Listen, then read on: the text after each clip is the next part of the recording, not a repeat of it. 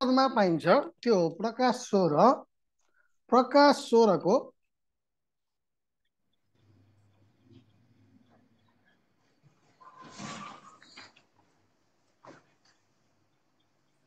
प्रकाश सोह्रको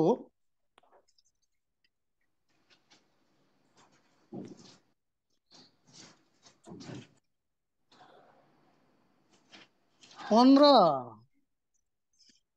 पन्ध्र सोह्र दुइटै पढिदिनु त।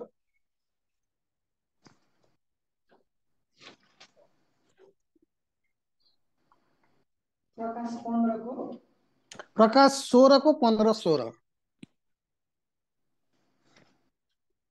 हेर म चोर चाहिँ आउँछु।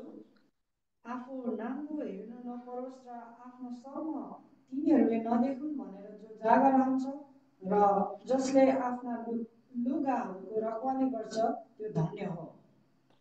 अनि त्यसले तिनीहरूलाई हिब्रू भाषामा हर्मागेडोन भनिने ठाउँमा भेला पार्यो यो एउटा मात्रै पद चाहिँ हार्मागेडन भन्ने शब्द चलाइएछ अब यो हार्मागेडन अन्तिम बेला छ नि यसलाई चाहिँ तपाईँले बिसको सात आठसँग नजोड्नु। यो दुईवटा फरक फरक कुरा हो के?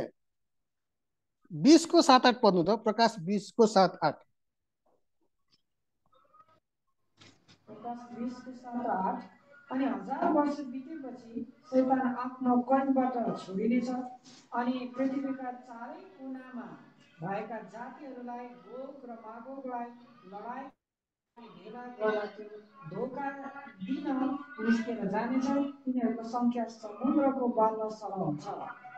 यो पनि लडाइँ नै हो। यति बेला पनि शैतान छोडिनेछ। तर यो बिसको सात आठ भनेको चाहिँ यो मिलेनियल हार्भेस्ट हो क्या? यो भनेको चाहिँ हजार वर्ष बितेपछि two thousand eight hundred seventy four AD पछि मात्रै हुन्छ यो। जबकि हार्मागेडन भन्ने कुरा चाहिँ गोस्पेल एजको हार्भेस्ट भन्दा अगाडि नै हुन्छ। हजार वर्ष सुरु प्योर मिलेनियल हार्भेस्ट सुरु हुनुभन्दा अगाडि नै हुन्छ। हजार वर्षमा हुने चाहिँ के हो भन्दाखेरि एट्टिन सेभेन्टी फोरमा शैतान बाँधिन सुरु भयो two thousand eight hundred seventy फोरसम्म नि त्यो बाँधिँदै बाँधिँदै पूर्ण रूपमा बाँधिन्छ। मानिसहरू पनि पूर्ण रूपमा गडको परमे परमेश्वरको धार्मिकतर्फ फरिन्छन् कि। अन्तिममा चाहिँ परमेश्वरले टेस्ट गर्नको निम्ति परमेश्वरकै अनुमतिमा चाहिँ छोडिने हो केही समयको लागि। सधैँभरिको लागि होइन। प्रकाश बिसको सात आठ भनेको परमेश्वरले नै केही समय छोडिदिने हो कि। तर यो आर्माकेटन जुन प्रकाश सोह्रमा छ यो चाहिँ परमेश्वरले छ हजार वर्षसम्म अनुमति दिनुभएको छ नि। त्यसको क्लाइमेक्सको सुरुवात यो यो दुईटा फरक फरक कुरा हो है तपाईँले यति बुझ्नु पर्यो अब यो प्रकाश सोह्र अध्यायको चौध पन्ध्र सोह्रमा जुन यो हर्मागेद्धनको चाहिँ प्रयोग भएको छ यो हार्मागेद्धनको चाहिँ थेट इन्टरप्रिटेसन के हुन्छ भन्नेतिर हामी जाउँ। फेरि सोह्र पद पढिदिनु त प्रकाश सोह्रको सोह्र।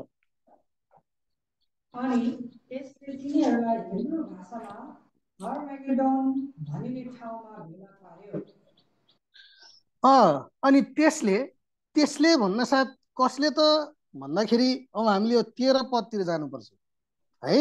अनि मैले त्यस अजिङ्गरको मुखबाट त्यस पशुको मुखबाट त्यस झुटा भविष्यवक्ताको मुखबाट निस्केका भ्याकुताहरू जस्तो अब यसको बारेमा म अलिक पछि डिस्क्राइब गर्छु।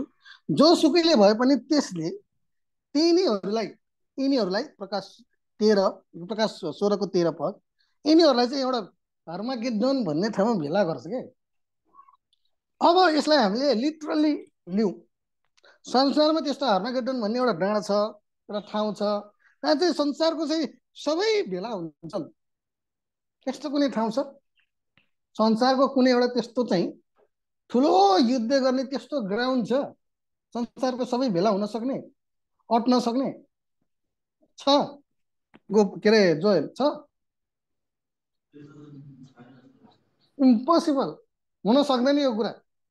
संसारको यत्रो जनसङ्ख्या अट्ने त्यस्तो ठाउँ नै छैन के? त्यही माथि यो प्रकाशको पुस्तक हो। प्रकाशको पुस्तक हामीले अहिलेसम्म चाहिँ मैले धेरैचोटि भनेको छु प्रकाशको पुस्तकलाई लिटरली इन्टरप्रेट गर्नु हुँदैन। यो हर्माकेटोन शब्द जुन प्रयोग भएको छ त्यसको सिम्बोलिक अर्थ छ।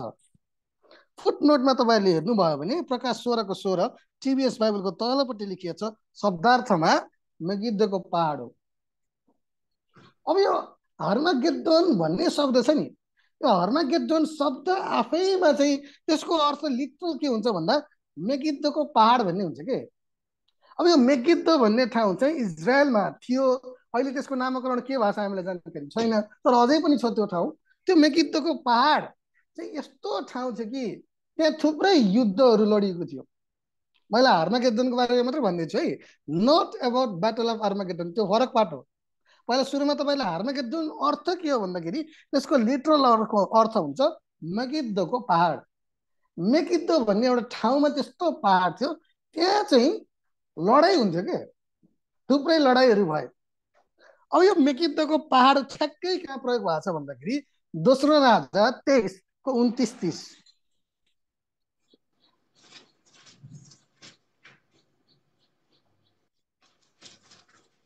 दोस्रो राजा तेइस उन्तिस तिस। दोस्रो राजा तेइस उन्तिस र तिस। तिनको समयमा मिश्रका राजा फारो नेकोले युफ्रेटिस नदीमा असुरका राजामाथि चढाइ गरे अनि राजा जोसिया तिनको विरोधमा निस्के अनि तिनलाई त्यसपछि फारो नेकोले तिनलाई मेगिदोमा मारे। मेगिदोमा आए।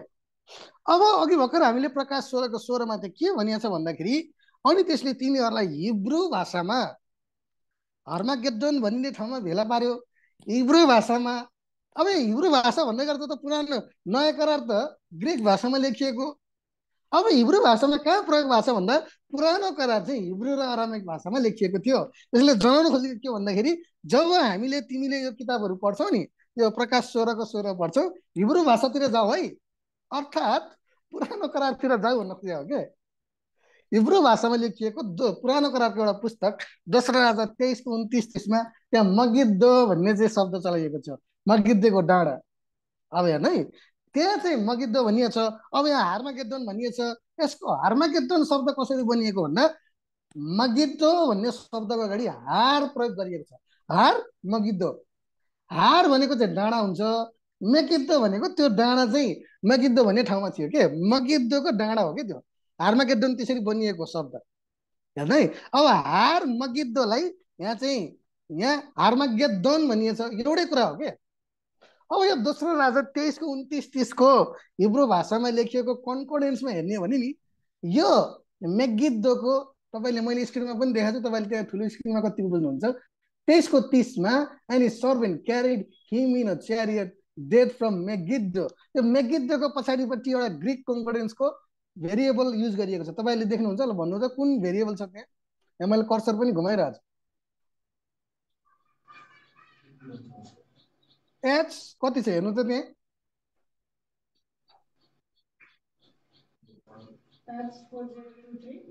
H four zero two three. यो भेरिएबल युज भएको छ यहाँ। अब एच फोर जिरो टू थ्रीमा के भएको छ भन्दाखेरि यो तल छ मैले कर्सर घुमाइरहेको छु। H four zero two three यो पढिदिनु त एकचोटि।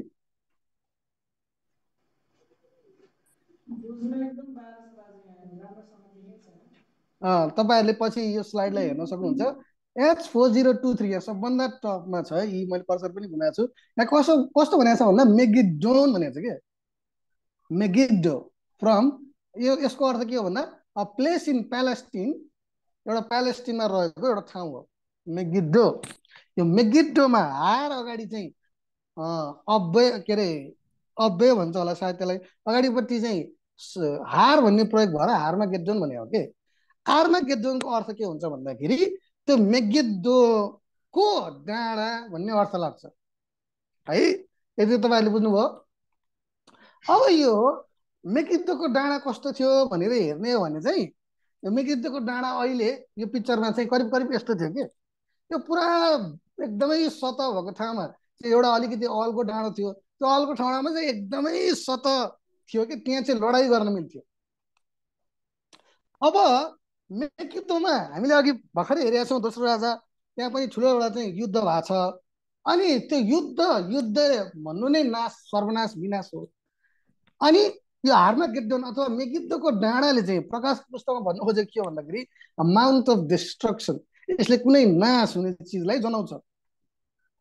माउन्ट अफ डिस्ट्रक्सन अब यो मेगिद्धोमा नि किन यसलाई माउन्ट अफ डिस्ट्रक्सन अथवा चाहिँ हिल अफ डिस्ट्रक्सन अथवा चाहिँ विनाशको डाँडा भनिएको भन्दा अघि युद्ध त हामीले हेरिसकेका छौँ। त्यो मात्रै होइन क्या थुप्रै युद्धहरू भएको छ त्यहाँ जस्तै कनानीहरूलाई बाराकले चाहिँ त्यहाँ नष्ट गरेका छन्। न्यायकर्ता सातको उन्नाइस तेइसमा हेर्ने हो भने गिद्दियोनले चाहिँ मिडियनीहरूको विरुद्धमा लडाइँ गरेका छन् गिद्दियनहरूले जितेका छन्।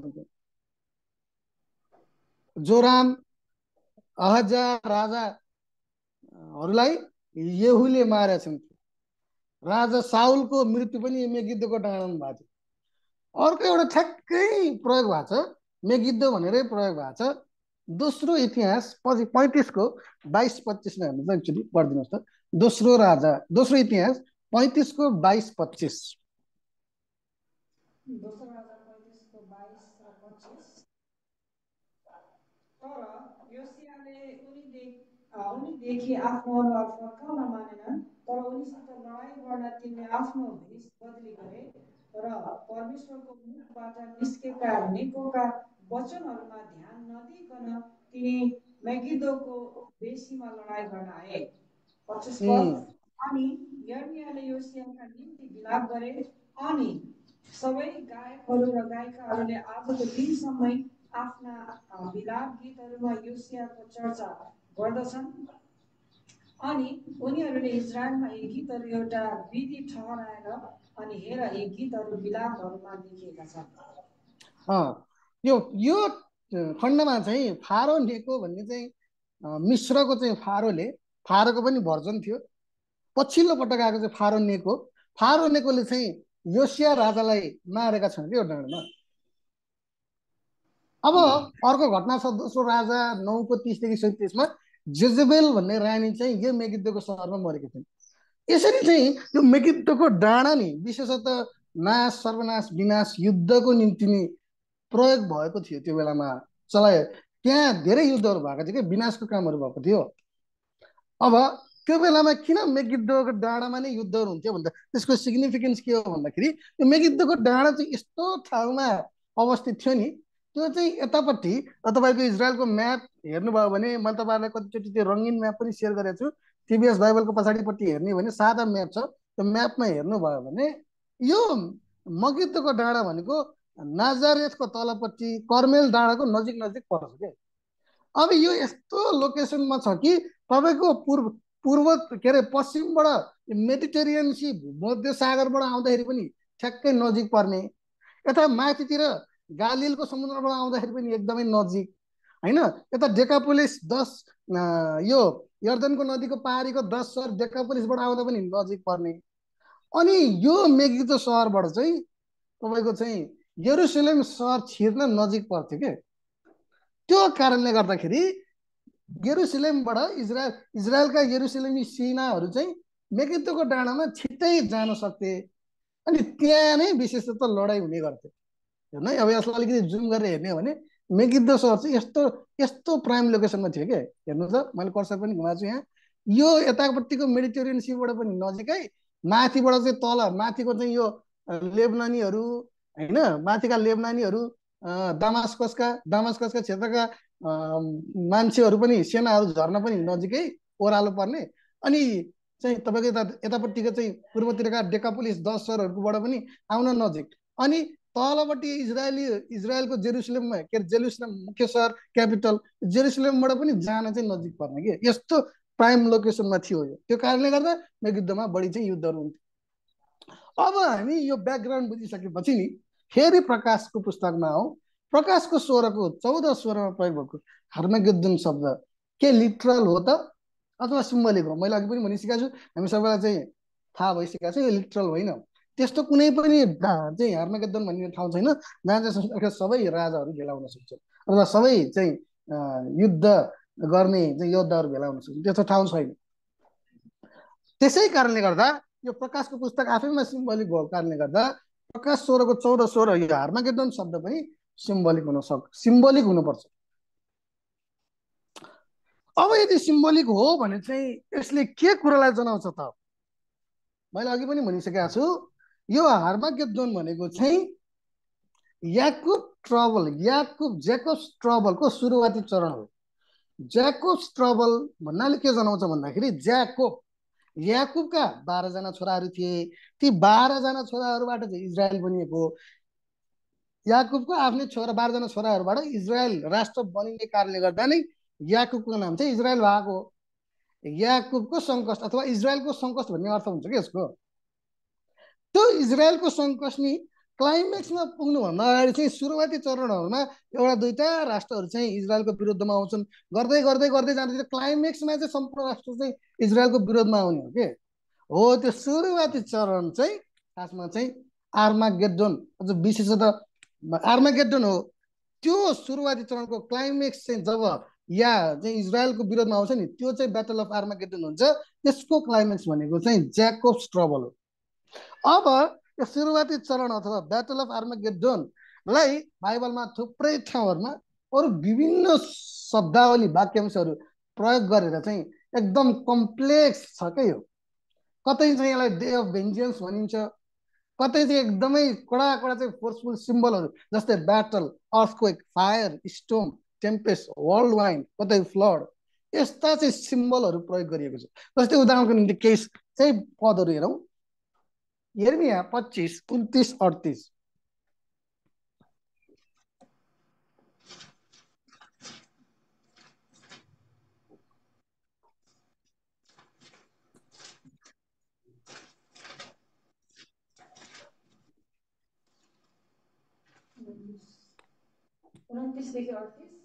हजुर।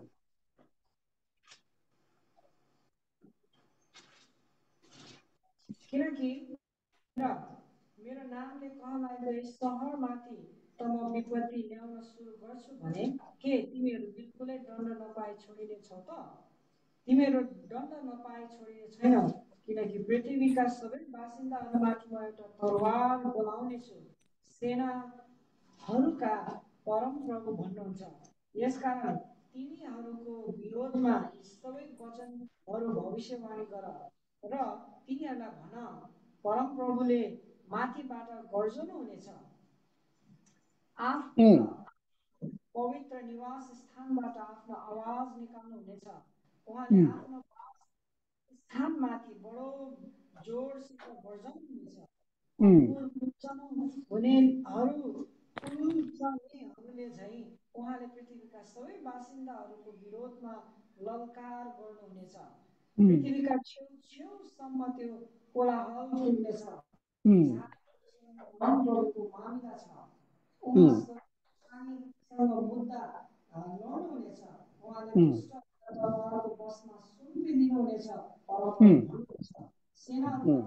यसो भन्नुहुन्छ हेर विपत्ति एउटा जातिबाट अर्को जातिका अनि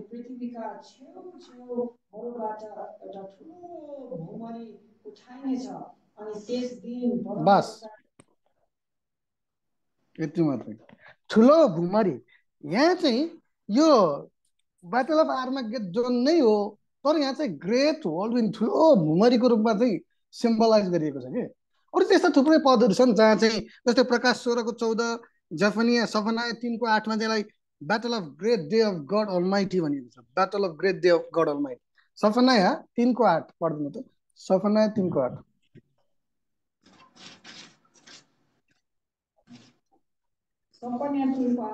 यसकारण जुन दिन म शिकार गर्न उठ्नेछु दिनसम्म तिमीहरूले मलाई पर्खी बस परमप्रभु भन्नुहुन्छ। किनभने मेरो क्रोध अँ मेरो सारा बल्दो रिस खन्याउन भने राज्य राज्यलाई बटुल्ने जाति जातिलाई भेला गर्ने मेरो निर्णय हो। किनकि मेरो आगोले सम्पूर्ण पृथ्वी भस्म हुनेछ। यहाँ चाहिँ परमेश्वरको क्रोध अथवा चाहिँ battle of great day of God अलमाइटीको रूपमा प्रयोग गर्छ। यस्ता थुप्रै सिम्बलहरू छन् जस्तै प्रकाश सोह्रको अठारमा यसलाई चाहिँ ग्रेट अर्थक्वेक भनिएको छ ठुलो भुइँचालो भनिएको छ होइन? जस्तै चाहिँ सबैनयाँ तिनको आठमा आगो भनिएको छ मलाकी चारको आगमा पनि आगो भनिएको छ नौ एक तिन छ सातमा यसलाई ठुलो भुमरी अनि स्टोम भनेर प्रयोग गरिएको छ। पुरानो करारमा यस्ता थुप्रै सिम्बलहरू छन्। नयाँ करारमा पनि यसुक्रिस आफैले यसको चाहिँ थुप्रै एल्युजनहरू दिनुभएको छ कि? आर्मागेद्दनको बारेमा जस्तै मत्ती चौबिसको एक्काइस।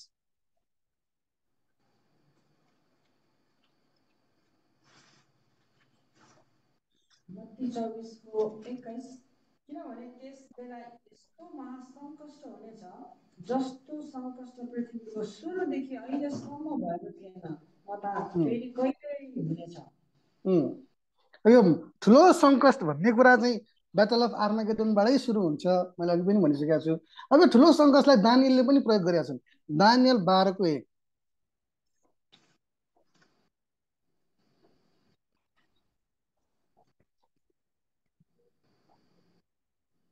दानियल बाह्रको एक।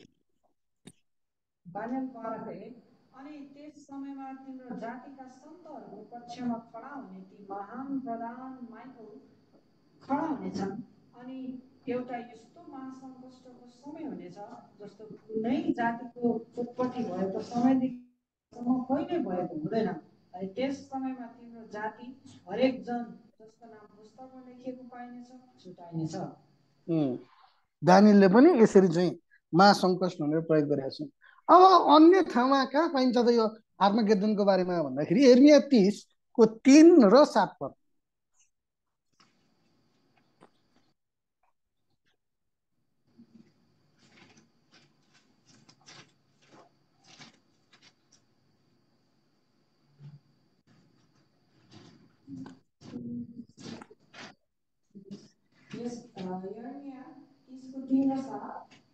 हेर दिनहरू आउँछन् परमप्रभु भन्नुहुन्छ जब म आफ्नो प्रजा इजरायल र युहुदालाई कैदबाट फर्काएर ल्याउनेछु परमप्रभु भन्नुहुन्छ अनि जुन देश मैले तिनीहरूका पिता पुर्खाहरूलाई दिएको थिएँ त्यस देशमा म तिनीहरूलाई फर्काएर ल्याउनेछु तिनीहरूले त्यसलाई आफ्नो अधिकारमा लिनेछन् सात हाय त्यो दिन कति डरलाग्दो छ। त्यसैले त्यो जस्तो अरू कुनै दिन छैन। त्यो त याकुबको सङ्कष्टको समय हो तर त्यसबाट ऊ बचाइनेछ हेर्नु है यहाँ तपाईँले बिस यो एर्मिया तिसको अगाडिपट्टि हेर्नुभयो भने नि पहिला चाहिँ फर्काएर ल्याउने छु भन्ने कुरा गर्नुभएको छ। यहुदीहरू इजरायलीहरू जन्मजातिका इजरायलीहरू चाहिँ पहिला चाहिँ इजरायलमा फर्किने छन् के? पहिला फर्काइने छ अनि मात्रै तपाईँको सात पद तलपट्टि चाहिँ यहाँ के हुन्छ भन्दाखेरि हाय त्यो दिन कति डर लाग्दो? त्यसैले त्यो जस्तो अरू कुनै दिन छैन। यो त याकुबको सङ्कष्ट हो।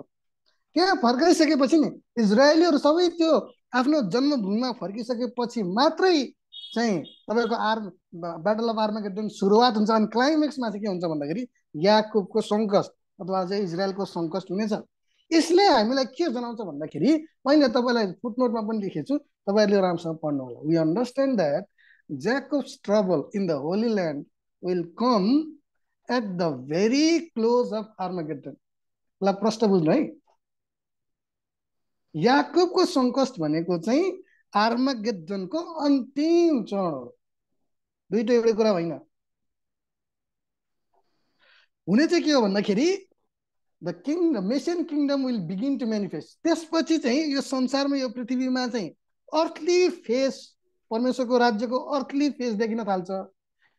त्यसमा त्योभन्दा अगाडि के हुन्छ भन्दाखेरि पहिला चाहिँ हिब्रूहरू जन्मजातका इजरायलीहरू चाहिँ आफ्नो देशमा फर्किन्छन्। के तपाईँहरूले अझै पनि हेर्नुभयो भने कति देशहरूले जिउजहरूलाई अब छरपष्ट भएका जिउजहरूलाई छरपष्ट कति बेला भयो त सेभेन्टी एडीमा जब चाहिँ इजरायल टसनस भयो त्यहाँदेखि नै छरपष्ट भएका नि त्यहाँदेखि छरपष्ट भएका चाहिँ इजरायलहरूको नाति पनाति खनाति चाहिँ पनातिको पनि पनातिहरू त अहिले देश संसारका चाहिँ थुप्रै ठाउँहरूमा छरपष्ट भएको नि त।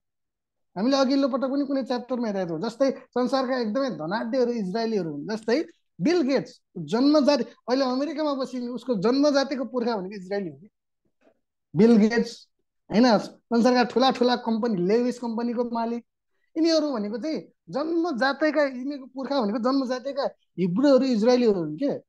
यिनीहरू अहिले इजरायलमा फर्केका छैनन् तर तिनीहरू कुनै समयमा इजरायलमा फर्किने चाहिँ क्रम चरण चाहिँ पुरा हुन्छ। त्यो चाहिँ नाइन्टिन फोर्टी एटमा भन्दा अगाडि पनि सुरु भएको थियो हामीले हेरिसकेका छौँ इजरायल भन्ने राष्ट्रमा।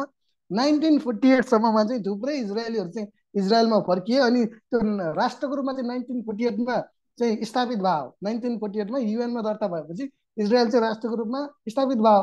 अझै पनि चाहिँ इजरायलका जन्मजातिका हिब्रूहरू इजरायलीहरू चाहिँ अझै पनि सर्वस्त छन्।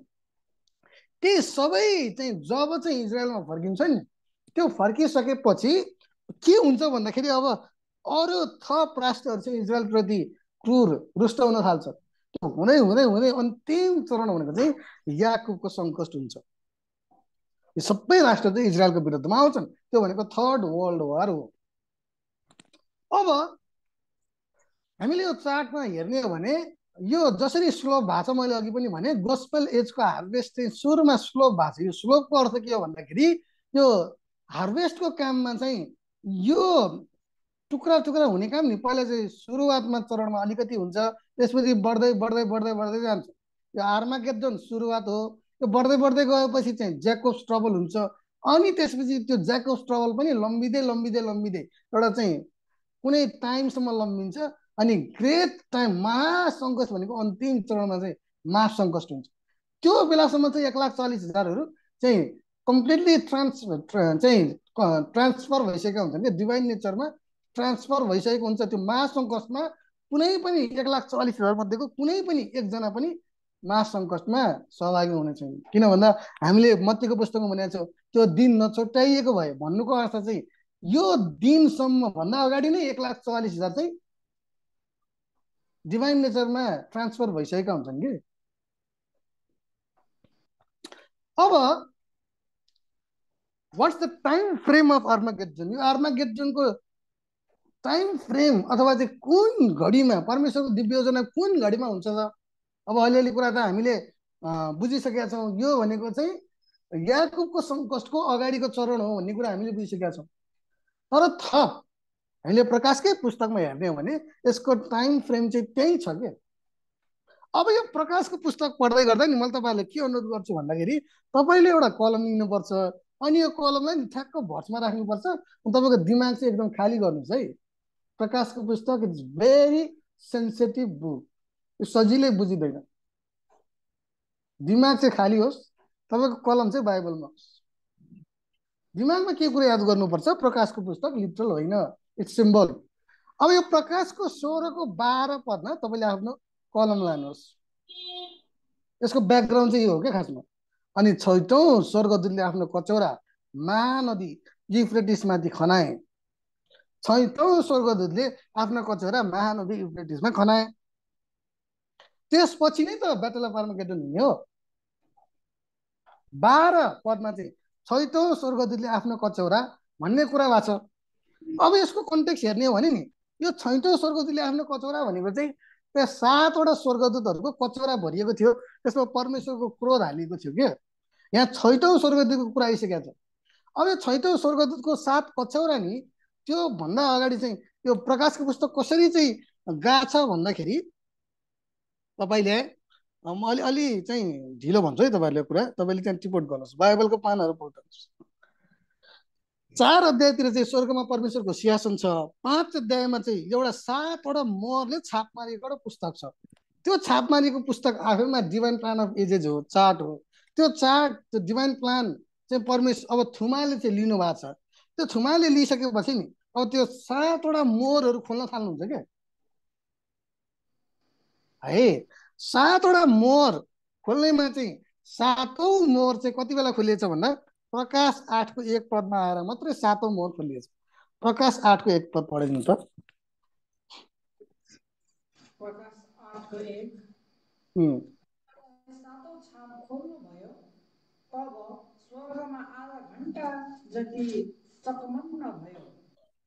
हेर्नु है अब सातौँ मोहर खोलियो नि त।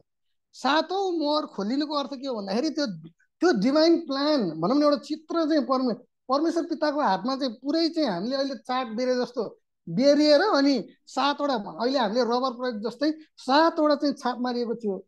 त्यो एउटा एउटा एउटा गरेर खोलियो नि त। अन्तिम पटक खोल्दाखेरि चाहिँ त्यो डिभाइन प्लान चाहिँ हामीले हेरे जस्तो चाट चाहिँ पुरै प्रष्ट देखिन्थ्यो क्या त्यो। खोलियो पुरै। भन्नुको अर्थ त्यो ठ्याक्कै फेरि तपाईँहरूले चाहिँ यो लिटरली नलिने के यो थुमाको हातमा चाहिँ ठ्याक्कै त्यो चाट यसरी हेरिदिएको भन्नु खोजे भन्नुको अर्थ के भन्दाखेरि त्यो सबै परमेश्वरको दिव्य योजना चाहिँ अब यसो क्रिस्टलाई जानकारी हुन्छ भन्न खोजियो कि? थाहा हो क्या? उहाँलाई चाहिँ मानव शरीरमा आउँछ त त्यसपछि के हुन्छ सबै कुरा थाहा थिएन नि त। त्यही कारणले त उहाँले प्रेरितको पुस्तकमा कति ठाउँमा भन्नुभएको छ। त्यो तिमीहरूको काम होइन चेलाहरूलाई भन्नुभएको छ। त्यो तिमीहरूको काम होइन। मलाई पनि थाहा छैन। त्यो बेलै थिएन क्या यसो क्रिस्टलाई थाहा हुने। परमेश्वर पितालाई मात्रै थाहा छ भन्नुभयो तर अब यहाँ आइसकेपछि परमेश्वर पिताले आफ्नो पुत्रलाई सबै कुराहरू चाहिँ जानकारी दिनुहुन्छ। उहाँको दिव्य योजनाको सम्पूर्ण कुराहरू उहाँलाई थाहा हुन्छ भन्न खोजियो। त्यसै त्यसै कारणले त उहाँले भन्नुहुन्छ हेर म मरेको चाहिँ अब जिउँदो छु। सबै सबैबाट चाहिँ जिम्मा सम्पूर्ण चाहिँ अधिकार मलाई दिएको छ। किनभने उहाँलाई सबै कुरो थाहा भयो। अब हेर्नुहोस् है। अब यो सातौँ मोहर खोलेपछि नि यो सातौँ मोहर खोल्नेपछिको घटनाहरू चाहिँ के हुन्छ भन्दाखेरि त्यसभित्रको घटनाहरू चाहिँ अब सातवटा तुरै बन्द सुरु हुन्छ क्या यो कुरा कहाँ छ? प्रकाश आठको छ।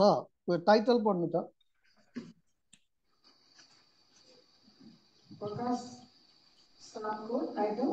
आठको छ।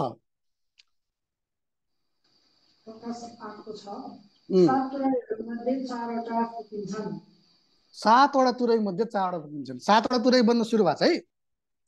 सातवटा तुरै कति बेला बच्छ तपाईँहरू क्लियर हुनुहोस्। सातौँ छाप खोलिसकेपछि त्यो खोलिसकेपछिको भित्रको घटना हो क्या सातवटा तुरै। अब सातवटा तुरै पनि पहिलो बज्यो दोस्रो बज्यो तेस्रो बज्यो अन्तिम तुरै भनेको चाहिँ अब यो तुरै पढ्नु के हो?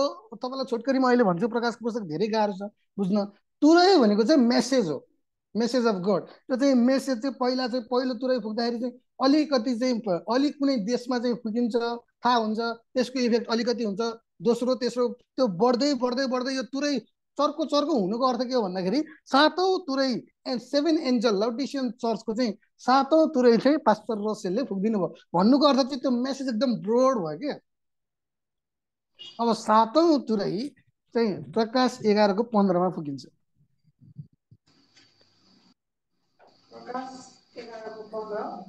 अनि सातौँले तुरै फुके। अनि स्वर्गमा एउटा स्वर्गमा यसो भन्ने ठुला ठुला आवाजहरू भए यस संसारका राज्यहरू चाहिँ हाम्रा प्रभुका र उहाँको ख्रिस्टका राज्यहरू भएका छन्। अनि उहाँले सदा सर्वदा राज्य गर्नुहुनेछ सातौँ स्वर्गदूतले तुरै फुके। सातौँ स्वर्गदूत हिमसेल्फ पास्टर चार्ल्स रसेल उहाँले चाहिँ तुरै फुक्न सुरु भएपछि नि के हुन्छ भन्दाखेरि त्यो डिभाइन रेभलेसन तोडिन्छ वचन तोडिन्छ। ठेट गहिरा गहिरा कुरा तोडिन्छ। त्यसपछि चाहिँ के हुन्छ? संसारका राज्य चाहिँ प्रभु र उहाँको क्रिसका राज्यहरू भएका छन् भन्नु उतिखेरै हुने होइन। त्यो प्रोसेस अब हुन सुरु हुन्छ कि? अब सातौँ तुरै फुकेपछि नि के हुन्छ भन्दाखेरि हेर्नु है त्यो सातौँ तुरै फुकिन्छ त्यसपछिकै घटना हो क्या प्रकाश बाह्र। सातौँ तुरै फुकिसकेपछि फुक्न सुरु भइसकेपछि चाहिँ के हुन्छ त? स्त्री निस्क्यो बालक र अजिङ्गरको कुराहरू घटनाहरू तोडियो आयो। अनि तेह्रको चाहिँ समुद्रबाट अर्को पशु निस्किन्छ। यो सातौँ तुरैकै घटना हो के? है सातौँ तुरै फुकेपछिकै घटनाहरू? अब सातौँ तुरै फुकेपछिका घटनाहरूमा नि त्यसपछि चाहिँ परमेश्वरले अन्तिम सातवटा चाहिँ महामारीहरू अथवा चाहिँ परमेश्वरको क्रोधले भरिएको सातवटा कचौरा ल्याउनुहुन्छ। त्यो कहाँ छ भन्दाखेरि प्रकाश पन्ध्रको एक पद पढिदिउँ त अनि मैले स्वर्गमा अर्को एउटा ठुलो र अचम्मको चिन्ह अर्थात् आखिरी सात महामारीहरू भएका सातजना स्वर्गदूतहरूलाई देखे। किनकि तिनैमा परमेश्वरको क्रोध पुरा हुन्छ। हेर्नु यहाँ। पहिला सातौँ तुरै फुकियो। सातौँ तुरै फुकेपछि चाहिँ यी प्रकाश बाह्र तेह्र चौध पन्ध्रको घटनाहरू चाहिँ त्यहाँ एक्सप्लेन गरिएछ। सातौँ तुरै भित्र बजि बज्न सुरु भइसकेपछिकै घटनाहरू हो कि यो। अनि त्यसपछि पन्ध्रमा आएर चाहिँ बल्ल सातवटा क्रोधको कचौरा सुरु हुन्छ। आखिर यो आखिरी महामारी हो। है त्यसमा चाहिँ सातवटा कचौराहरू छ। अब यो सातवटा कचौरा अहिले मैले पुरै एक्सप्लेन गर्न समय हुँदैन। तर त्यसमा परमेश्वरको क्रोध हुन्छ। सातौँ एउटा कचौरा चाहिँ त्यो खनाइसकेपछि मात्रै परमेश्वरको क्रोध चाहिँ पुरा हुन्छ। अब पहिलो कचौरा फुकि खनाइन्छ दोस्रो कचौरा खनाइन्छ है तपाईँले यो सोह्रको चाहिँ हेर्दै जानुभयो भने जस्तै तिन पद पढ्नु त। अनि दोस्रो स्वर्गदूतले आफ्नो कचौरा समुद्रमाथि खन्याए र त्यो मरेको मानिसको रगत जस्तै भयो। अनि समुद्रमा जिउँदो प्राणी मर्यो अब यो सातवटा कचौरा नि यसको चाहिँ खनाउने ठाउँ पनि फरक छ यसको इफेक्ट पनि फरक छ क्या जस्तै दुई पदमा स्वर्गको दुईमा पहिलो कचौरा खनाइदिएछ कहाँ? पृथ्वीमा। दोस्रो कचौरा कहाँ खनाइएछ? समुद्रमा। तेस्रो कचौरा कहाँ खनाइएछ? चार पद नदी र पानीका मुहानहरूमा खनाइएछ। यसरी यसरी हेर्दै जाने भने आठ पदमा चौध कचौरा दस पदमा चाहिँ पाँचौँ कचौरा अनि बल्ल बाह्रमा चाहिँ छैटौँ कचौरा आएको छ क्या हेर्नु है। मैले अघि पनि भनेको छु तपाईँले कतिको रिमेम्बर गर्नुभएको छ? सातौँ तुरै फुकेपछि सातौँ तुरैको घटनाहरू पछि त्यही भित्र नै अब सातवटा कचौराहरू छ।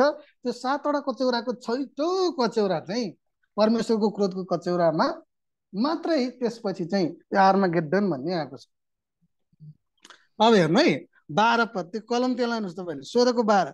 अनि छैटौँ स्वर्गदूतले आफ्नो कचौरा महानदी युब्रेटिसमाथि खनाए अनि पूर्वका राजाहरूको बाटो तयार होस् भनेर त्यसको पानी सुकिगयो यसको एकदमै सर्टकट इन्टरप्रिटेसन के हो भन्दाखेरि महानदी युफ्रेटिसले के जनाउँछ भन्दाखेरि त्यो बेलाको बेबिलोन जुन थियो नि बेबिलोन राज्य लिटरल बेबिलोन राज्य चाहिँ वरिपरि चाहिँ युफ्रेटिस नदी थियो के? त्यो बेलामा बेबिलोनीहरूलाई बेबिलोन पछिका मेदो मेदो पर्सियनहरूले कसरी एट्याक गरेको थियो भन्दाखेरि त्यो पानी वरिपरि चाहिँ एकदम ठुलो पर्खाले पर्खाल थियो।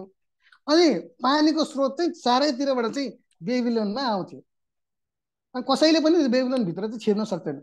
मेदो पर्सिनहरूले गरेको के हो भन्दाखेरि त्यो पर्खालहरूलाई भत्कान कि उनीहरूले अन्डरग्राउन्ड त्यो पानीको मुहारहरूलाई चाहिँ छोपिदिए अनि सुक्खा भइसकेपछि त्यसरी भित्र भित्र भित्र भित्र जमिनबाट छिरेर नि भित्र पर्खाल माथिबाट चढेर होइन। तलबाट छिरेर चाहिँ बेबिलोनीहरूलाई नाश गरेका थिए कि त्यो बेलामा। अब यो सोह्रको चाहिँ हेर्ने हो भने नि यो बेबिलोनको वरिपरि चाहिँ युफ्रेटिस महानदी युफ्रेटिस यो लिटरल होइन। बेबिलोन अहिलेको चाहिँ मिस्टिकल बेबिलोन भनेको चाहिँ अब एकछिनमा आउँछ। यो यो लिटरल बेबिलोन भन्दा फरक छ के? Mystical Babylon.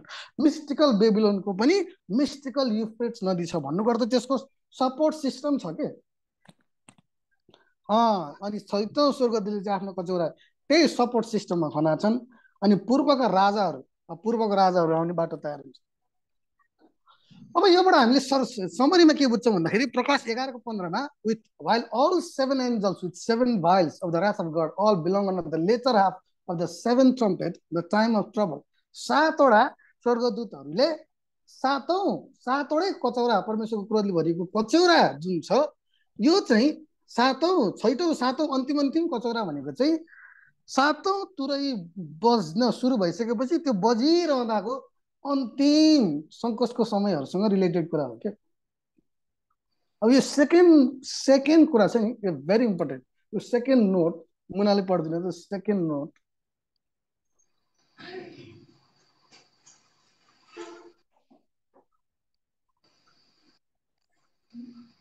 This battle, this battle is the seventh plague and hmm. is a result of the six plagues which precede it. यसले भन्न खोजेको कुरा के हो भन्दाखेरि यो ब्याटल अफ आर्मा गेडन जुन छ नि यो ब्याटल नै खासमा चाहिँ सेभेन्थ प्लेग हो कि सातौँ सातौँ परमेश्वरको क्रोधले भरिएको कतिवटा त्यो सा परमेश्वरको क्रोध जुन छ नि त्यो सातौँ क्रोध नै ब्याटल अफ आर्मा गेडन हो कि तर ब्याटल अफ आर्मा गेडनको पनि अगाडि के हुन्छ भन्दाखेरि त्यसको पृष्ठभूमि बन्न पर्यो नि त। पहिला एउटा राज्य क्रोधित हुन्छ त्यसपछि अर्को राज्य इजरायल प्रति क्रोधित हुन्छ। त्यो ब्याटल अफ आर्मा गेडन चाहिँ अगाडिका छवटा प्लेगहरूको रिजल्ट हो। समष्टिगत हो क्या अगाडिको छवटा प्लेगहरू कि हामीले हेऱ्यौँ नि पहिला पृथ्वीमा खनायो त्यसपछि चाहिँ समुद्रमाथि त्यसपछि चाहिँ नदी र पानीको मुहारहरू। यो परमेश्वरको क्रोध चाहिँ कुनै कुनै पार्टिकुलर इलिमेन्टहरूमा खनाउँदै खनाउँदै खनाउँदै खनाउँदै गएपछि यो छवटाको समष्टिमा अन्तिममा के हुन्छ भन्दाखेरि छवटाको समष्टि आर्मा गेद्दन हो आफैमा। अनि यो आर्मा गेद्दन जब हुन्छ नि त्यो चाहिँ त्यो आफैमा सेभेन प्लेग हो के? प्रकाश पन्ध्रको एक।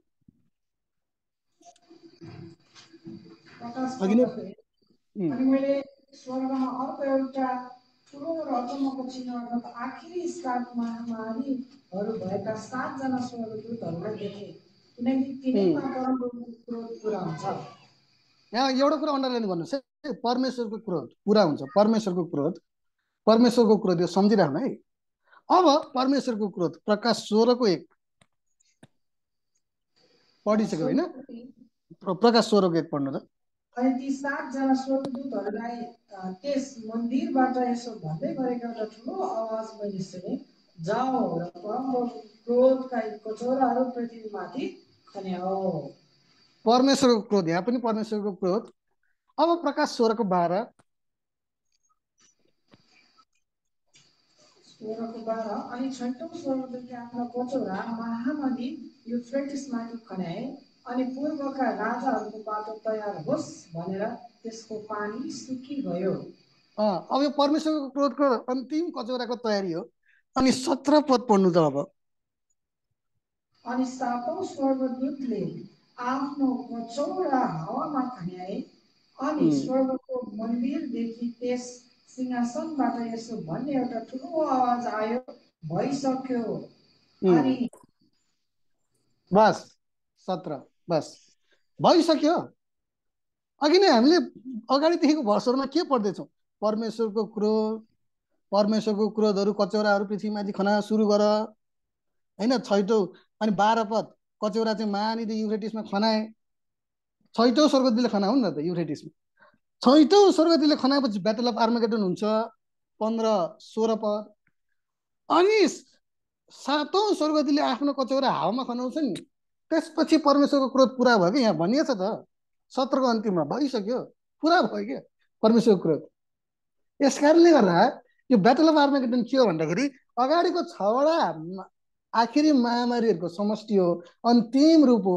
जब त्यो अन्तिम रूप ठ्याक्कै आउँछ नि समयमा कालखण्डमा त्यो चाहिँ ब्याटल अफ आर्मागेडन चाहिँ आफैमा चाहिँ सेभेन्थ प्लेग हो के? यति बुझ्नुभयो? बुझ्नुभयो? जोयल बुझ्नु भएको छ सिस्टर रमी ब्रदर अमर बुझ्नु भएको छ ब्रदर अमर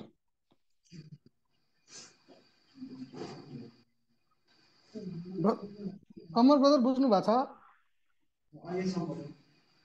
अहिलेसम्म बुझ्नु भएको ठिक छ मुना जोइन भएको गोपाल बुझ्नु भएको छ? ल अब यति कुरा बुझिसकेपछि नि यो आखिरी महामारी अझै आएको छैन है। सातौँ महामारी अझै आएको छैन। छैटौँ महामारी अहिलेको कन्टेक्समा हेर्ने हो भने अलिअलि सुरु भएको छ। ब्याटल अफ आर्मागेड्डनको सुरुवाती चरण चाहिँ भएको छ। ब्याटल अफ आर्मागेड्डन नै भएको छैन क्या अझै पनि। अब हेर्नु है यो भविष्यको कुरा। अब यो अफ यो प्रकाश सोह्रको यति बाह्रदेखि अठारसम्म खण्डमा नि हामीले धेरै कुराहरू पाउँछौँ क्या अर्मागेडनको बारेमा। अब हामी अर्को पाटोतिर जाउँ अर्मागेडनको अर्को फिचर को को यो अर्मागेडनको ब्याटलमा इन्भल्भ हुने छन् त? यही पदमै छ प्रकाश स्वरको बाह्र पद पढ्नु त पहिला। प्रकाश सोह्रको बाह्र। अनि छैटौँ स्वर्गदूतले आफ्नो कचौरा महानदी युफ्रेटिसमाथि खन्याए। अनि पूर्वका राजाहरूको बाटो तयार होस् भनेर त्यसको पानी सुकिगयो अँ, एक त यहाँ राजाहरू राजाहरू आउने बाटो तयार भएको छ त्यो लडाइँकै निम्ति आउने हो राजाहरू है? एउटा सुरुमा चाहिँ ब्याटल अफ आर्मागेडनको भागीदार को हुन्छ त यसमा सहभागीहरू यसको चाहिँ योद्धाहरूको हो त पृथ्वीका राजाहरू क्लियर कट चौध पद पढ्नु त चौध पद।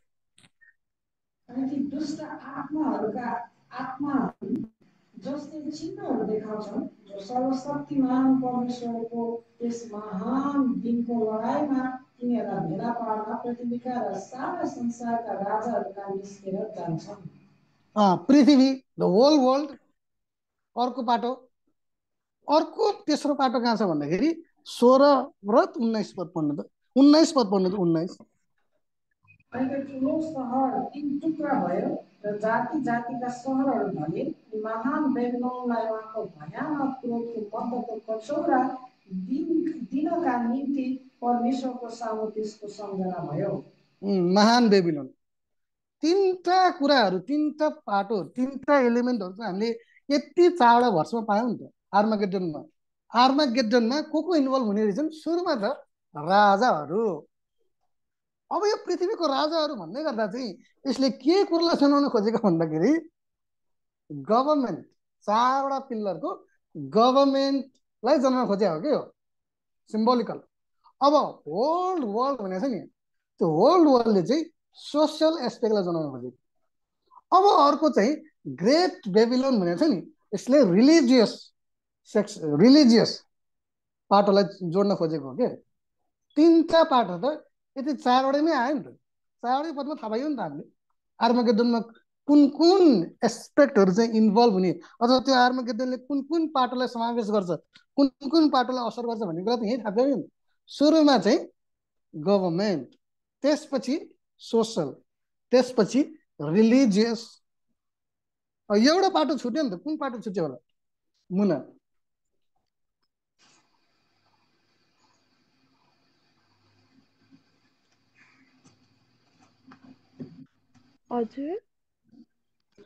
पृथ्वीले पृथ्वी बनिएको चार पृथ्वीको सिस्टममा चारवटा पिल्लरहरू हुन्छन्।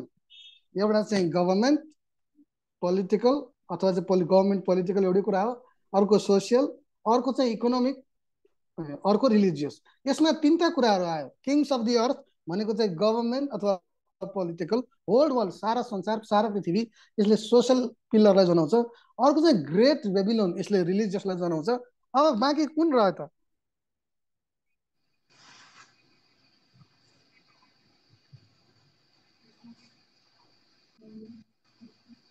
जसले पनि भन्न सक्नुहुन्छ। कुन रह्यो त बाँकी हो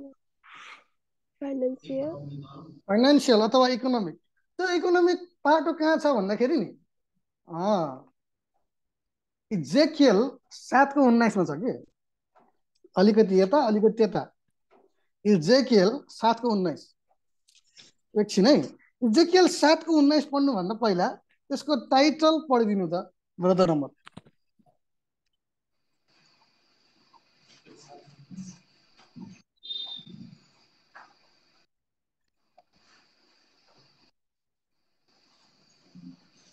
इजेकियल सात अध्यायको टाइटल के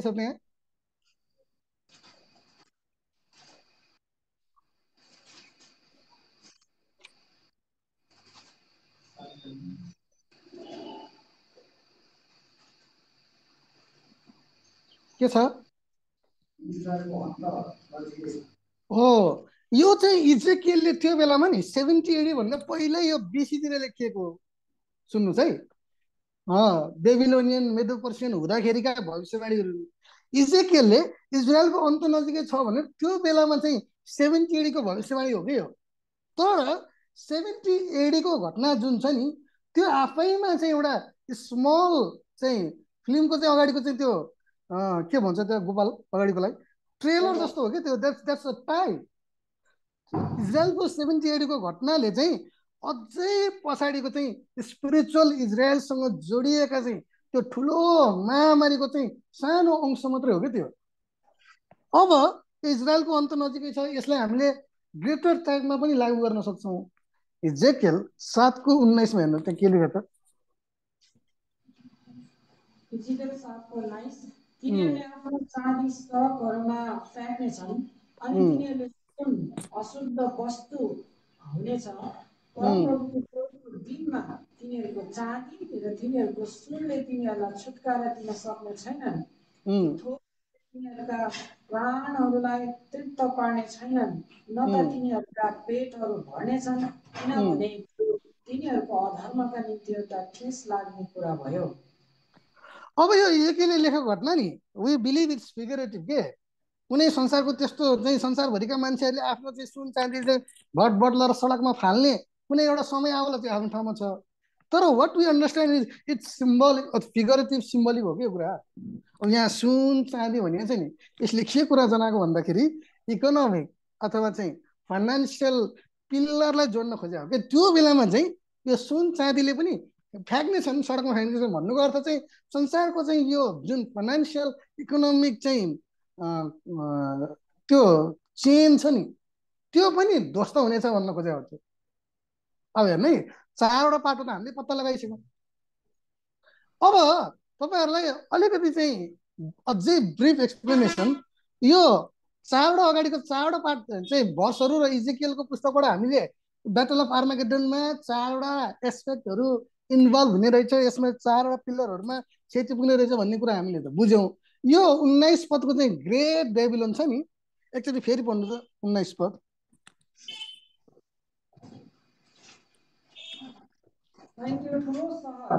तिन टुक्रा भयो र जाति जातिका सहरहरू भने अनि महान बेबिलोनमा उहाँको भयानक क्रोधको मद्दको कचरा दिनका निम्ति परमेश्वरको सामु त्यसको सम्झना भयो। त्यो ठुलो सहर अथवा बेबिलोन तिन टुक्रा भयो। किन चार टुक्रा नभएको तिनै टुक्रा किन भएको भन्दाखेरि त्यो चाहिँ तेह्र पदसँग जोडिएको छ कि? तेह्र पद पढ्नु त। तेह्र पद। अनि मैले त्यस अजिङ्गरको मुखबाट त्यस पशुको मुखबाट र त्यस झुटा भविष्यवक्ताको मुखबाट निस्केका निस्केका भ्यागुताहरू जस्ता तिनवटा अशुद्ध आत्माहरूलाई देखेँ। तिनटै कुरा छ नि। त्यहाँ एउटा चाहिँ अजिङ्गर अर्को पशु अर्को झुटो भविष्यवक्ता तिनटै कुरा जोडिएर नै ग्रेट बेबिलोन अहिलेको मिस्टिकल बेबिलोन बनाउने हो। लिटरल बेबिलोन त मेदो पर्सिनहरूले त्यति बेलै ध्वस्त गरे। यो प्रकाशको पुस्तकमा भएको चाहिँ बेबिलोन चाहिँ मिस्टिकल हो। यो मिस्टिकल बेबिलोनको तिनवटा इलिमेन्टहरू छन्। तेह्र पदमा पर्टिकुलरली भनिएको छ अजिङ्गर पशु र झुटो भविष्यवक्ता।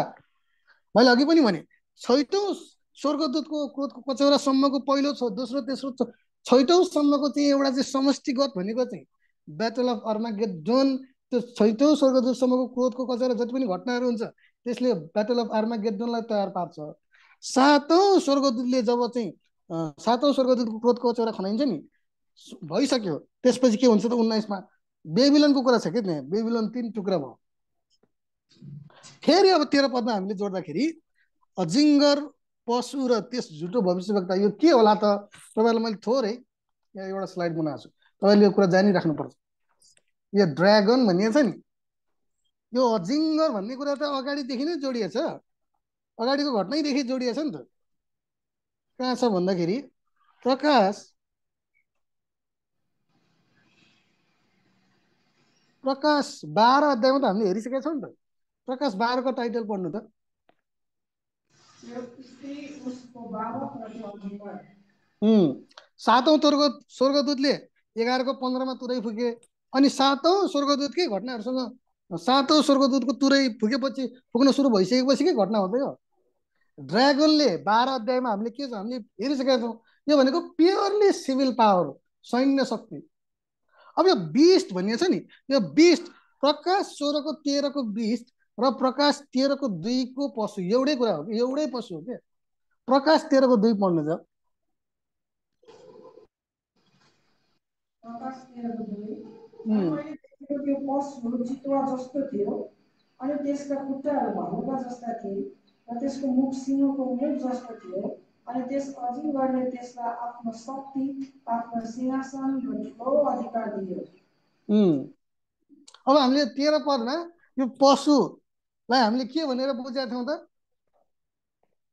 प्यापल सिस्टम यो भनेको प्यापल सिस्टम हो रोमन ग्रिक क्याथोलिक यो सबै प्यापल सिस्टमहरू नै त्यो बिस्ट हो पशु। अब यो फल्स प्रोफेट बाँकी रह्यो यो फल्स प्रोफेट हामीले के अन्दाज गर्न सक्छौँ बुझ्न सक्छौँ भन्दाखेरि यो फल्स प्रोफेट अरू कोही नभएर नि त्यही पशुको मूर्ति हो के? प्रकाश तेह्रको चौध। प्रकाश तेह्रको चौध अनि त्यसले ठुला ठुला देखाउँछ। यहाँसम्म कि त्यसले त्यस मानिसहरूकै साथ आकाशबाट पृथ्वीमाथि उम्। अब हामीले यो प्रकाश पृथ्वीबाट निस्केको अर्को पशु यसको बारेमा नि म आफैले तपाईँलाई भनिसकेको छु। यसले के जनाउँछ त?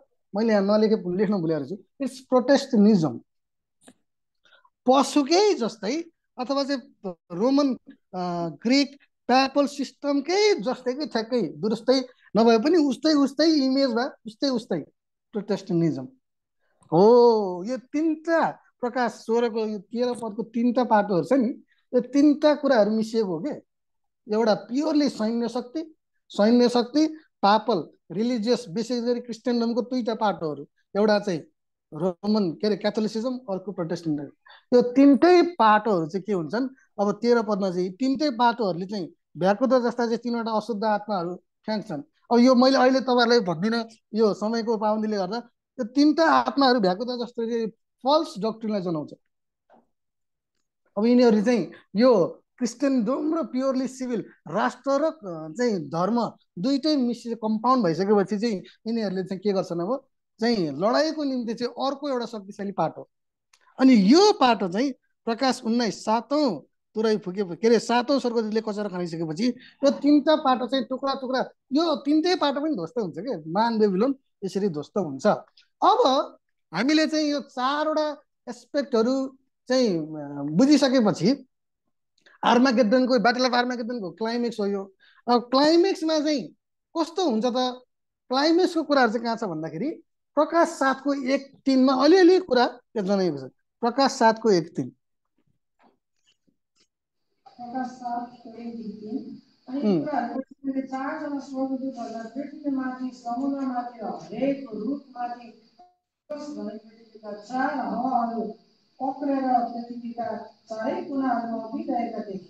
अनि अर्को एकजना स्वर्गदूतलाई जीवित परमेश्वरको मोहर लिएर पूर्वपट्टिबाट उक्लिरहेका देखे अनि उनले पृथ्वी र समुद्रलाई हानि गर्ने अधिकार पाएका ती चारजना स्वर्गदूतहरूलाई यसो भन्दै ठुलो स्वरले कराए। जब सबै हाम्रा परमेश्वरका दासहरूलाई तिनीहरूका हामी छाप लगाउँदैनौँ पृथ्वी समुद्र र रुखहरूलाई कुनै हानि नगर। अब यसमा चार पृथ्वीका चार कुना र चार हावा छ नि यसले के जनाउँछ भन्दा यो चार हावा भनेको चाहिँ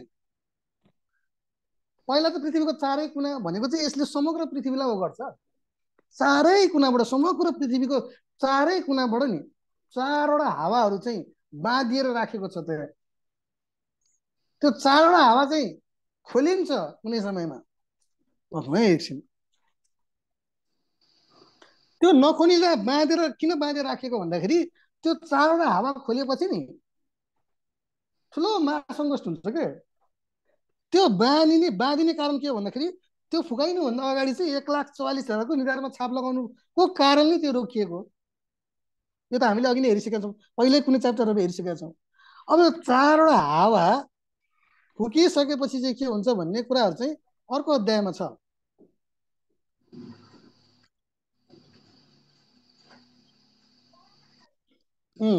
चारवटा हावाहरू चाहिँ फुकिने फुकिने कुराहरू छ। त्यो अहिले मैले ठ्याक्कै प्रकाश चार पद पढ्नु एकचोटि प्रकाश अनुसार यिनीहरू के हुन्छ? स्त्रीहरूसित अशुद्ध भएका छैनन्, किनकि उनीहरू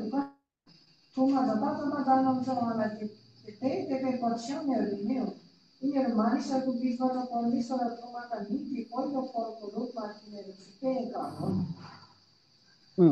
ल यहाँ पनि एक लाख चालिस हजार कुरा छ अब यो चारवटा हावा चाहिँ केही समयको लागि चाहिँ रोकिन्छ त्यो चारवटा हावा चाहिँ छोडिएपछि हुन्छ के भन्ने कुरा नि हेर्नु है पृथ्वीको चारै कुनाबाट भनेको समग्र पृथ्वीलाई समेट्छ त्यसले चारवटा हावा भनेको त्यो चारवटा एस्पेक्टहरूलाई नाश गर्नको निम्ति रोकिएको हावा भन्नुको अर्थ तपाईँले फेरि यसलाई लिटरली नबुझ्नु के पृथ्वीको चाहिँ इस्ट वेस्ट नर्थ साउथ डिरेक्सनमा चाहिँ ठुला ठुला स्वर्गदूतहरूले चारवटा हावा चाहिँ पक्रेर राखेको होइन कि? That's a pictorial explanation picture हो त्यो।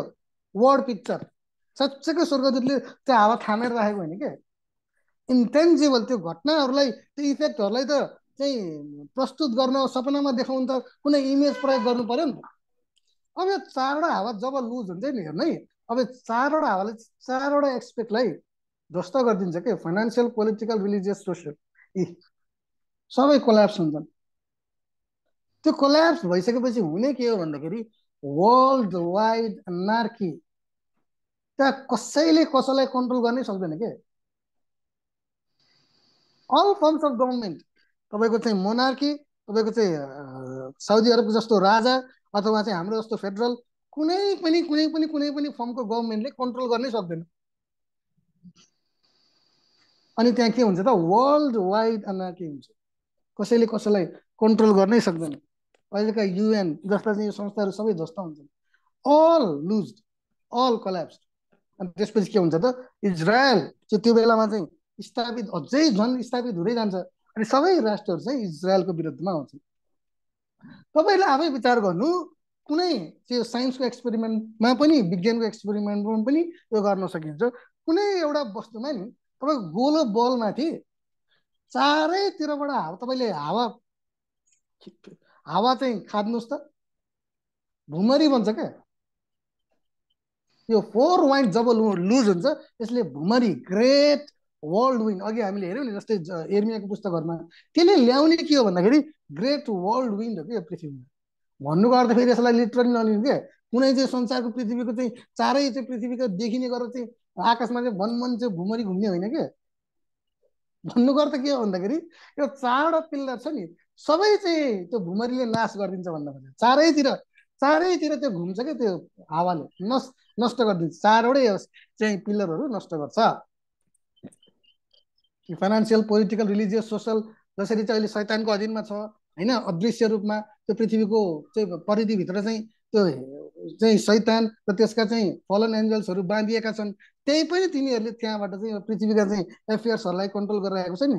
त्यो चारैवटा एक्सपेक्ट चाहिँ ध्वस्त हुन्छ अनि परमेश्वरको देखिने फेज अर्थली फेज चाहिँ त्यहाँबाट सुरु हुन्छ। What are the condition of God's kingdom के के हो त? Earth in harmony financial political religious social चारवटै प्लेयरहरू हार्मोनीमा हुन्छन्। त्यसमा पिस हुन्छ शान्ति हुन्छ सेफ्टी हुन्छ everlasting life abundant food pure language universal prosperity truth and righteousness housing justice one God lasting joy restored earth health and vitality no more sickness resurrection of the dead यी घटनाहरू हुन्छ। अब साँच्चै यो ब्याटल अफ आर्मागेडनले के कुरा चाहिँ accomplish गर्छ भन्दाखेरि यसको पर्पज भनेको चाहिँ के हो भन्दाखेरि tearing down of the systems अहिले चाहिँ संसारमा भएको पृथ्वीमा भएको चारवटै सिस्टमहरूलाई टुक्रा टुक्रा पार्नु हो। अब आर्मा गेद्दन पछि हुन्छ के त? आर्मा गेद्दनको कम्प्लेक्समा या ज्याकब ट्रबल हुन्छ इजरायलको सङ्कष्ट हुन्छ सम्पूर्ण राष्ट्रहरू इजरायलको सङ्कष्टमा आउँछन् त्यहाँ त्यहाँ चाहिँ परमेश्वरको शक्ति चाहिँ देखिन्छ। त्यसपछि हुन्छ के त? मत्ती छको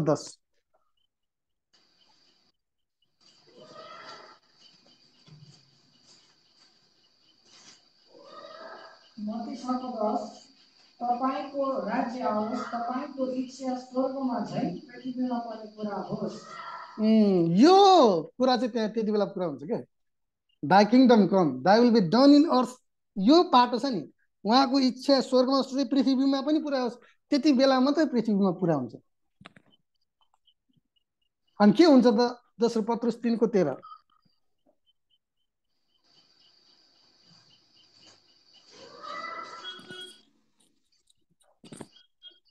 दोस्रो पत्रुस तिनको तेह्र तरै पनि हामी उहाँको प्रतिज्ञा अनुसार नयाँ र नयाँ पृथ्वीको बाटो हेर्दछौँ जहाँ धार्मिकताले बास गर्छ। अब संसारको सबै मानिसहरूले देख्नेछ नि त्यो बेलामा। इजरायललाई कसरी परमेश्वरले छुटाउनु भयो भन्ने कुरा देख्नेछ नि थर्ड वर्ल्ड वरमा।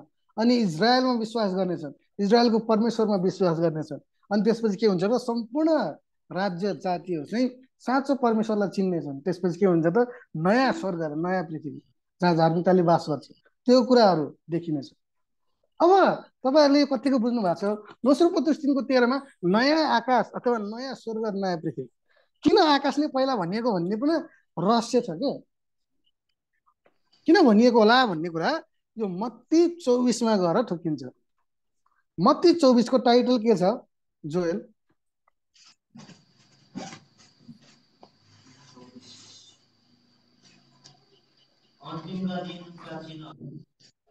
अन्तिमका दिनका चिन्हहरू अथवा चाहिँ टाइम अफ ट्रबल हार्भेस्टका कुराहरू हेर्नु यहाँ। तपाईँको सत्ताइस पद पढ्नु त गोपाल। मती चौबिसको सत्ताइस। किनभने जसरी बिजुली पूर्वबाट निस्केर पश्चिमसम्म चम्कन्छ मानिसको पुत्रको आगमन पनि त्यसै नै हुनेछ। सेकेन्ड प्रेजेन्स हामीले त्यो आगमन सेकेन्ड प्रेजेन्स भन्ने बुझिसकेका छौँ। उहाँको सेकेन्ड प्रेजेन्स यसरी नै हुन्छ। कसरी? प्रेजेन्स भइसकेपछि के हुन्छ भन्ने कुरा उन्तिस पददेखि तल छ। उन्तिस। ती दिनहरूको सङ्कष्टपछि तुरुन्तै सूर्य अँध्यारो हुनेछ र चन्द्रमाले आफ्नो उज्यालो दिने छैन अनि ताराहरू आकाशबाट खस्नेछन् र आकाशका शक्तिहरू हल्लाइनेछन्। यो मत्ती चौबिसको बास त्यति मत्ती चौबिसको अध्याय छ नि यो यशु क्रिस्टले चाहिँ पछि धेरै पछि दुई हजार तिन हजार वर्षपछिको कुराहरू नि त्यो सिनप्सिसमा भन्नुभयो के? इट्स ए सिनप्सिस त्यसको कुराहरू इजेकियलको पुस्तकमा अलिअलि भविष्यवाणी छ प्रकाशको पुस्तकमा छ यो सबै घटनाको चाहिँ छोटकरी समरी सिनोप्सिस हो कि अब हेर्नु है उन त्यो अन्तिम दिनको चिन्हहरूमा उहाँको आगमन पश्चात सेकेन्ड प्रेजेन्समा त्यसपछि उन्तिस पदमा हुन्छ के भन्ने कुरा त्यहाँ के के कुरामा असर गरिरहेको छ हेर्नु त त्यहाँ। सूर्य चन्द्रमा आकाश। यो कुराहरू कहाँ हुन्छन्? मुना यो कुराहरू कहाँ हुन्छन्?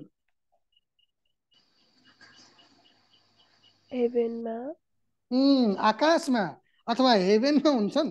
पहिला त त्यही नै असर गरे नि त। यो मत्ती चौबिसको चाहिँ तपाईँको चाहिँ उन्तिस पदले भने अनुसार यसलाई लिटरली लिने हो भने त बङ बङ बङ चाहिँ आकाश पनि चाहिँ चन्द्र हल्लिनु पर्यो चन्द्रमा खस्नु पर्यो सूर्य पुरै अन्धकार हुनु पर्यो। नो त्यस्तो हुँदैन। लिटरली कुनै पार्टमा भए हो। अमेरिकाको कुनै अमेजनमा चाहिँ त्यो बिट्नी नै अँध्यारो भएको थियो। त्यो थियो रेकर्ड संसारभरि त्यस्तो सूर्य अँध्यारोहरू भयो यसले भन्नु खोजेको कुरा के हो भन्दाखेरि इट्स हेभनली कन्डिसनलाई रिफर्म गर्न कुरा रिफर्म गरिने कुराहरू यहाँ भन्नुभयो कि यसको? सूर्य चन्द्रमा यो सिम्बल सिम्बलिजम हो। हेभेनका कुराहरू छन्। हेभनली डोमिनियनका कुराहरू हुन् के पहिला हेभनली डोमिनियन त्यसपछि तिस पद पढ्नु छ अनि तब आकाशका मानिसका पुत्रले पुत्रको चिन्ह देखा पर्नेछ। तब पृथ्वीका सबै कुलहरूले विलाप गर्नेछन् अनि तिनीहरूले मानिसका पुत्रलाई सामर्थ्य र ठुलो महिमा सहित आकाशका बादलहरूमा आइरहेका देख्नेछन्। उन्तिस पद? सूर्य चन्द्रमा अनि मात्रै तिस पद? तिस पदमा पढ्नु तपाईँ अनि तब आकाशमा मानिसको पुत्रको चिन्ह देखा पर्नेछ। तब त्यसपछि नै पृथ्वीका सबै कुलहरूले विलाप गर्नेछ त्यसपछि के हुन्छ भन्दाखेरि पृथ्वीका अर्थली एफियर्सहरू चाहिँ रिफर्म हुन सुरु हुन्छ के? भन्नुको अर्थ चाहिँ तपाईँले फेरि यसरी नबुझ्नुहोस्। पहिला हेभनली कन्डिसन टोटल्ली चेन्ज हुनुपर्छ। कम्प्लिट भइसकेपछि बल्ल अर्थ त्यो भन्न खोजेको होइन के? तर यसले भन्न खोजेको कुरा के भन्दाखेरि परमेश्वरको राज्यमा पहिला हेभनली कन्डिसन नै त्यहाँ हेभनली डोमिनको काम सुरु हुन्छ के? त्यो सुरु हुँदै गर्दा प्यारलली त्यसपछि के? पृथ्वीका कुराहरू सुरु हुन्छ। अर्थली एफेयर्सको रिफर्मेसन सुरु हुन्छ। हो यसै कारणले नै यहाँ दोस्रो तिनको तेह्रमा पनि नयाँ आकाश पहिला नयाँ आकाश त्यसको काम पहिला सुरु भएको के? अनि नयाँ पृथ्वी अर्थली एफेयर्स दुइटै कुरा चाहिँ के हुन्छ? नयाँ हुन्छ। अनि त्यसपछि के त? धार्मिकताले बास गर्छ। अब यो कुरा ल्याउन चाहिँ के? आर्मा गेटजोनले सुरुको भूमिका खेल्छ। अब यो आर्मा गेटजोनको इन्चार्ज को हुनुहुन्छ त? जकरिया चौधको दुई तिन